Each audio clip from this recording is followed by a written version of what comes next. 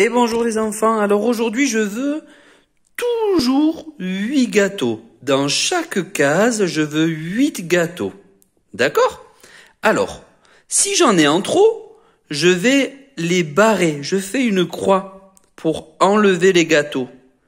Mais s'il m'en manque, si je veux en ajouter, je vais chercher page 65 des gâteaux que je peux découper et que je viens coller pour les rajouter. Toujours 8. 8 gâteaux dans chaque case. À toi de jouer.